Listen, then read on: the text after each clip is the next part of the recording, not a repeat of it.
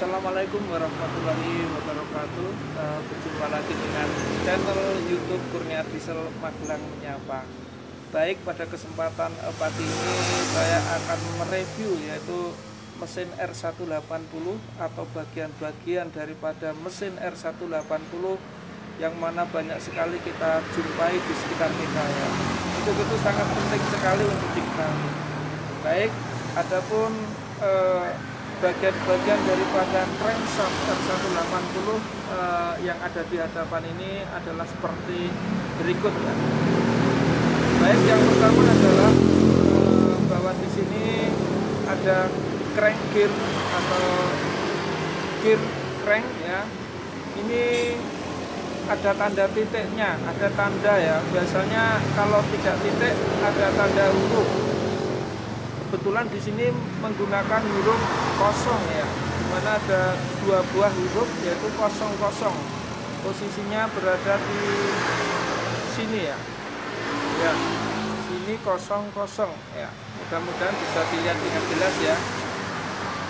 Ada hurufnya kosong kosong nah itu digunakan untuk mengetapkan atau posisi penyetelan timing gear ya. Baik Eh, di belakang gigi crank gear itu ada bearing. Adapun ukuran bearingnya adalah 6210 ya. Ini ukurannya 6210 ya. Kemudian bearing besar atau laker besar yang ada di sebelah sini di belakang roda gila itu menggunakan ukuran 6310 ya.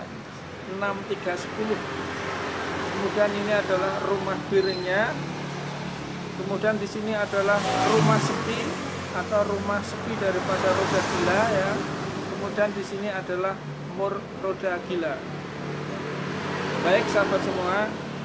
E, kemudian di sini ada e, lubang di mana lubang ini tempat masuknya oli atau tempat e, keluarnya oli dari rumah mesin menuju ke sini ya. Jadi ini uh, tempat uh, masuknya oli nanti menuju ke metal.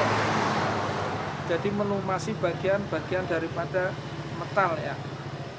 Baik, kemudian di sini ada uh, bandulnya atau weightnya ya, buat balan ya, di mana ada dua buah ini sebagai balan supaya imbang ya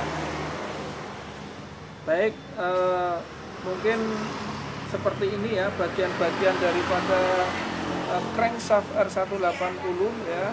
Eh, habis ini nanti akan kita tungkar ya kemudian akan kita pasang kembali ya.